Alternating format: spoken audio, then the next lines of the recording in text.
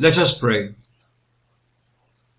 Praise, honour and glory be to you, O Christ, who, when standing before Pilate, kept silent at all the unjust accusations and slanders of the Jews, and as a gentle lamb that did not open its mouth, did not con contradict them when they brought forward their charges against you.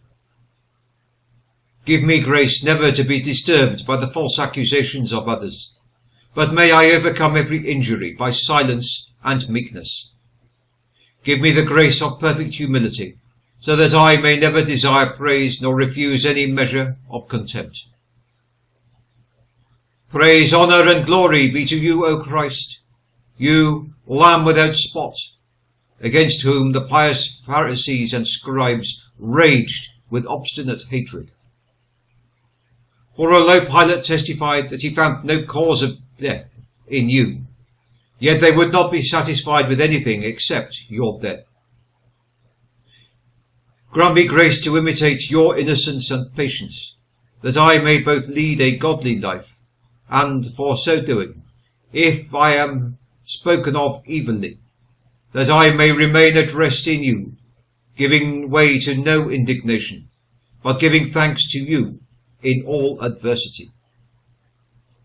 Praise, honour and glory be to you, O Christ, who were led in great, the greatest of indignity, in the manner of a wicked criminal through the middle of the city, from one judgment seat to another, and from Pilate to Herod and back again, amidst the noise and shouts of the people.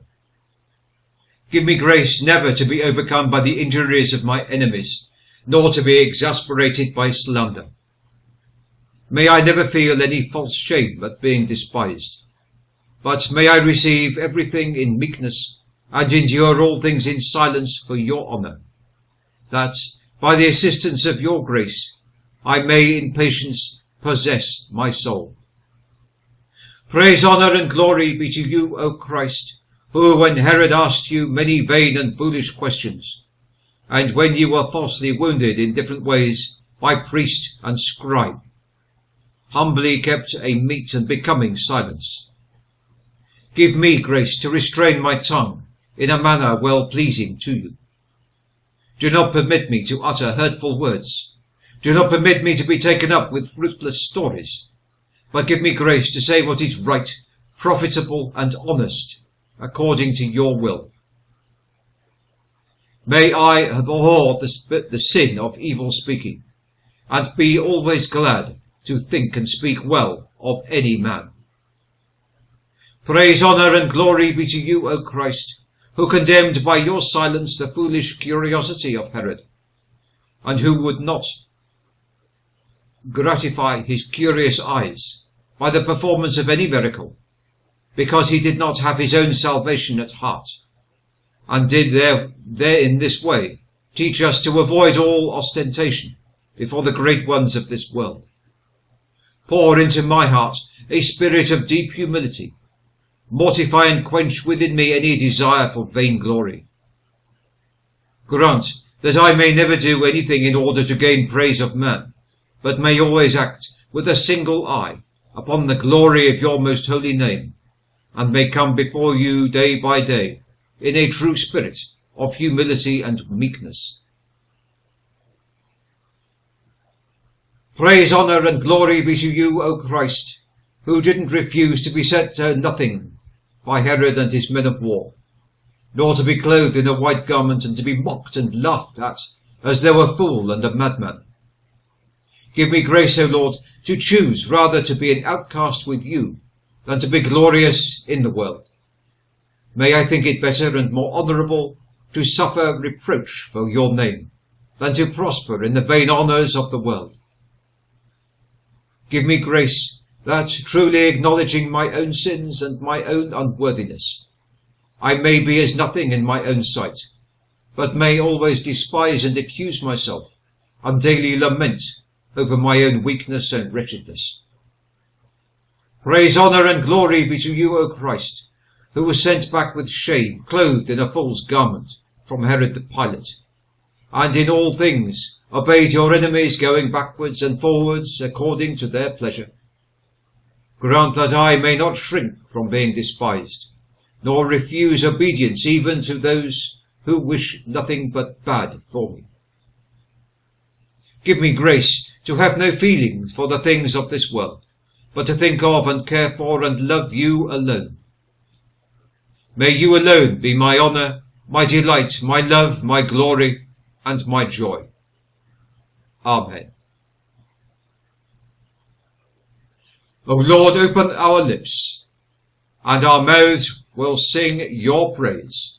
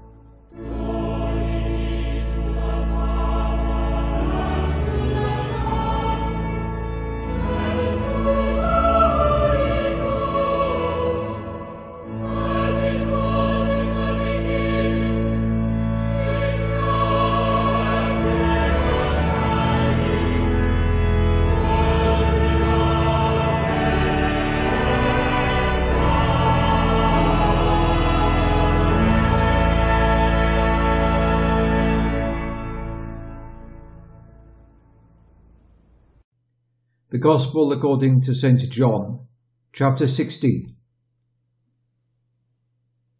I have told you all these things so that you will not fall away. They will put you out of the synagogue. Yet a time is coming when the one who kills you will think he is offering service to God. They will do these things because they have not known the Father or me. But I have told you these things so that when their time comes, you will remember that I told you about them. I did not tell you these things from the beginning because I was with you. But now I am going to the one who sent me, and not one of you is asking me, Where are you going? Instead, your hearts are filled with sadness because I have said these things to you. But I tell you the truth, it is to your advantage that I am going away. For if I do not go away, the advocate will not come to you. But if I go, I will send him to you. And when he comes, he will prove the world wrong concerning sin, righteousness, and judgment. Concerning sin, because they do not believe in me. Concerning righteousness, because I am going to the Father, and you will see me no longer. And concerning judgment, because the ruler of this world has been condemned. I have many more things to say to you, but you cannot bear them now. But when he, the Spirit of truth, comes, he will guide you into all truth. For he will not speak on his own authority, but will speak whatever he hears, and will tell you what is to come. He will glorify me, because he will receive from me what is mine, and will tell it to you. Everything that the Father has is mine. That is why I said the Spirit will receive from me what is mine, and will tell it to you. This is the word of the Lord. Thanks be to God. The great aim of the Lord Jesus in his final conversations with his apostles was to convince them of their perfect union with himself. They were the branches of the living vine. They were his beloved and confidential friends. Were these revelations made merely to assure them of privilege, merely to make them happy in the consciousness of an honourable and inseparable relation? Absolutely not. This spiritual fellowship was to be the power for holy service and the motive to patient endurance. It is in this last respect that, in the verses before us, our Lord reply, relied upon the revelation already made as sufficient to secure his disciples from being offended with him. He felt that having explained the community of life and interest subsisting between himself and his own. He might open up before them the prospect of persecution. Forewarned, they would thus be forearmed. He treated them herein not as children, but as soldiers in a spiritual war, whose allegiance he did not doubt, and of whose fortitude he was most perfectly assured. It was no new thing in the world that men should be pursued with bitter hostility for their devotion to truth, to duty, to righteousness to God. The history of Israel contained but too many illustrations of the animosity with which the good had been assailed by those to whom their life and testimony were a rebuke.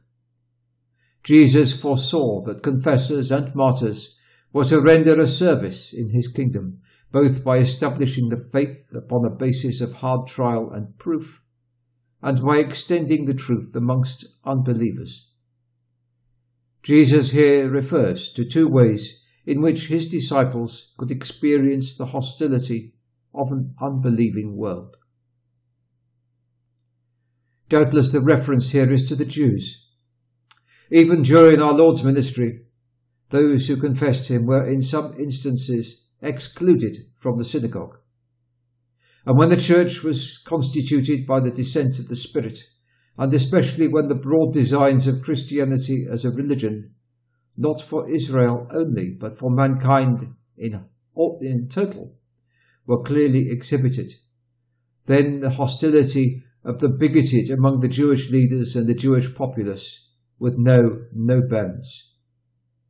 Reverencing everything connected with the law and the prophets, the preachers of Christ would fain have resorted to the synagogues as of old, would fain have reasoned out of scriptures with a view of proving that Jesus was the Messiah and of showing how his religion realized all the types and predictions of Judaism. But the merit and the glory of Christianity was, in the eyes of the legalist and the formalist, its chief offence, and a sharp line was drawn over which the followers of the Nazarene were not allowed to step. The Jews did, as we know from the record of the Acts of the Apostles, even in the very earliest years of the history of the Christian faith, carry out their hostility so far as to inflict capital punishment upon a Christian advocate, as exampled by St. Stephen. But it seems as if our Lord in this prediction is looking further forward to events which would follow the proclamation of the gospel amongst the Gentiles. The annals of the Church of Christ are rich indeed with instances of martyrdom, and it has passed into a proverb that the blood of the martyrs is the seed of the Church. Our Lord conceded that the motive to much of the persecution that should assail the professors of the faith was a conscientious and even religious motive. Events have confirmed this.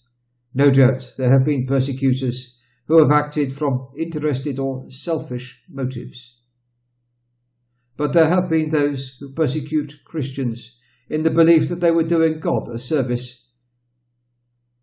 and the years of St. Paul before his conversion are a particular example of this, offering to him an acceptable sacrifice in the blood of the faithful unto death. The Jews particularly were in many instances influenced in their hostility to Christians by a reverence for what they believed, however erroneously, to be the perfect religion capable of no addition and no improvement.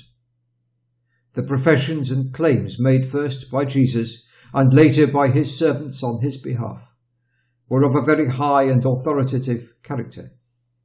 Christ was either the Son of God or he was an out and out blasphemer. And we know that the latter view was taken by many of the Jewish unbelievers. It is no justification of evil conduct that those guilty of it are sincere.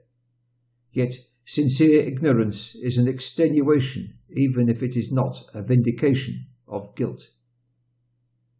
Alas, what evils have been wrought in the name not only of liberty, but also of religion. Our Lord was a revealer of hearts. He looked upon the profession even below the belief. He penetrated deep into the spiritual desire of men and was familiar with the hidden springs of thought and of action. There was a reason, not necessarily known in every case by the agents themselves, for the actions they would commit. The Lord was able to account for conduct by searching this inner nature and in so doing he discovered in the spiritual ignorance of the persecutor the true and all sufficient reason for their attitude and proceedings. They have not known the Father nor me, he said. They cannot know Christ by the knowledge, that is, of spiritual appreciation and sympathy, who persecute and slay his friends and the promulgators of his faith. They not only do not know, but they totally misunderstand him, his character, and his mission if they suppose that God can be pleased when Christians are persecuted. For it is not to be believed that the Father can look with satisfaction upon injuries done to his own Son in the person of his followers. Had the Jews known Christ, they would not have slain the Lord of glory. None who truly knew our Lord could have possibly persecuted his faithful people in order to do his Father service. There was a sympathy between our Lord and his apostles, but that sympathy was not perfect. Even in the latest of these quiet conversations between master and disciple, it is evident that the perception of the learners was now and again very dull, and that their response to what he was saying was somewhat inadequate. There is a tone of expostulation, almost of rebuke, in this as in other portions of his recorded discourse. Concerning himself, Jesus had uttered language which both perplexed and distressed his friends. He had spoken of his approaching departure, a prospect which could not but grieve them, and which clearly depressed his hearers. Their life was bound up in his life, and separation could not be faced without the sinking of heart. Concerning the apostles, the Lord had opened a prospect which dismayed or at least disconcerted them. He had told them very plainly now that they would be both hated and persecuted. And such an outlook as this could only be gloomy. They were not prepared at this stage for enduring such tribulations especially were they to be deprived of the presence and support, visible and tangible, of their Master. Sorrow, said to Jesus, has filled your heart. He had opened the conversation by asking them to trust in him and to dismiss fear and trouble from their mind. He had given them reasons for confidence, grounds for hope, motives for peace but they, in turn, were conscious of their feeble nature, their dependence upon him. They had accordingly no thoughts but for themselves, and as they looked at one another, they must have felt that there was among them no one upon whom they could lean in the absence of the Lord. And he was going and he would be going soon. How could they possibly keep together? And if they should keep together, what was there going to be for them to do? Had not the Master done everything? Without him, where would be the meaning of their fellowship, the purpose of their life? One thinks of the problems at the foot of Mount Tabor after the Transfiguration, when Jesus returned to discover the disciples unable to heal. It is a proof of the reality of their attachment to Jesus, of the bitterness of their disappointment at his departure, that in this hour their souls should be so burdened and all but overwhelmed with grief. For surely the apostles were absorbed in their grief and trouble, and hence they were de- prevented by their own depression from inquiring further into the nature of our Lord's departure. Not that they were altogether incurious and careless concerning this. Some of them had put questions suggested by the Lord's words, but they sank back at once upon their own condition and prospects. If they had turned away from their own loss, if they had followed Christ's declarations concerning himself with interest and faith, if they had asked for further revelations. They would both have forgotten their personal distress, and they would have received the inspiration and fortitude they needed as they realized the victory which would follow the Saviour's humiliation, and as they understood that in that victory they themselves would have a share. Experience has shown us that it is a most deleterious practice to direct thought too much inwardly upon our own sorrows and perplexities, or even upon our joys and comforts, religious progress can only be made by fixing the gaze upon, of the heart upon Him who is infinite excellence and infinite faithfulness. Let our principal interest, therefore, our most earnest questioning, our most ardent affection, be constantly directed toward Him.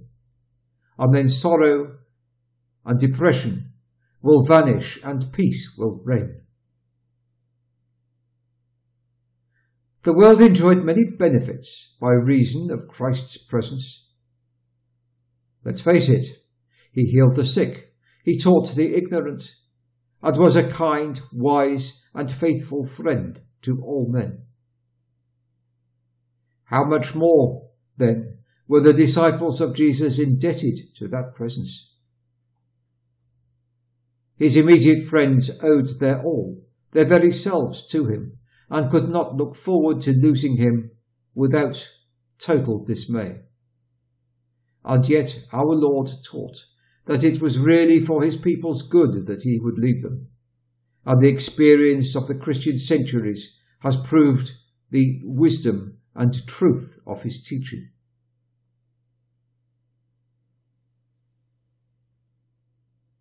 The ascension of Christ was the occasion of the descent of the Comforter. The Holy Spirit was indeed no stranger to our humanity even before the Lord's coming.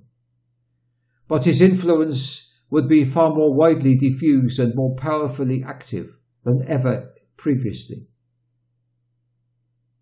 Why the coming of the Spirit was made in the wise counsels of God, dependent upon the departure of Jesus, we cannot completely understand. But the events of Pentecost are a matter of scripture history. The records of this dispensation remind us how the Spirit has convinced the world of sin, of righteousness, and of judgment. The Church has never, since our Lord's ascension, ceased to enjoy the enlightening, the quickening, and the sanctifying influences of its spiritual comforter. It was necessary that the Son of God and the Saviour of mankind dwell upon earth. And by the deeds of his ministry and by the death of sacrifice, reveal God to his sinful children, furnishing in this way a basis for the spiritual life of humanity.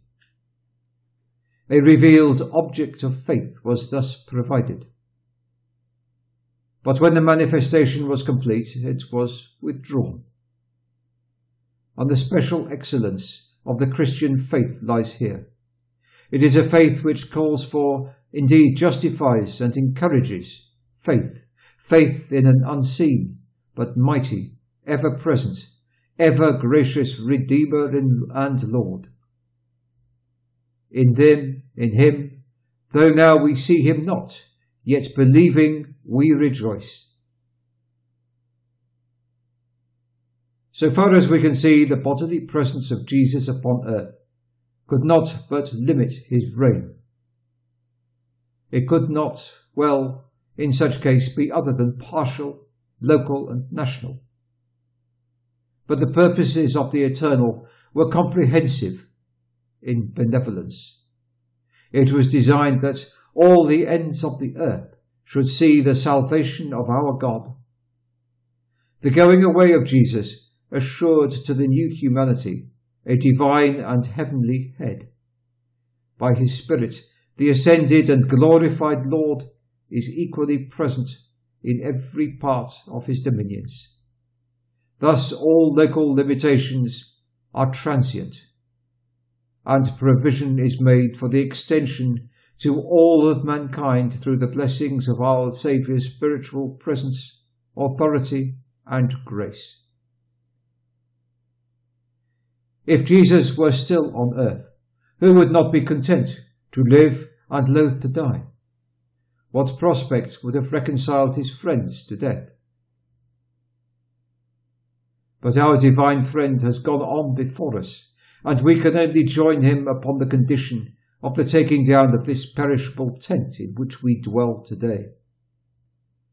It is the prospect of going to him who has gone away from the earth, which lends brightness to our Christian future. His prayer has secured that, where he is, there also his friends and disciples are waiting for us. Accordingly, an apostle could speak of removing hence as being with Christ, which is far better. And there is no prospect so dear to the Christian's heart as that of ever being with the Lord.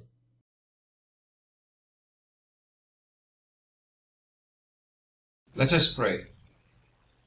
Almighty God, give us grace that we may cast away the works of darkness and put on us the armour of light, now in this time of mortal life, in which your Son Jesus Christ came to visit us in great humility, that in the last day, when he shall come again in his glorious majesty, to judge both the living and the dead, we may rise to the life immortal. Through him who lives and reigns with you and the Holy Spirit, one God now and for ever. Amen.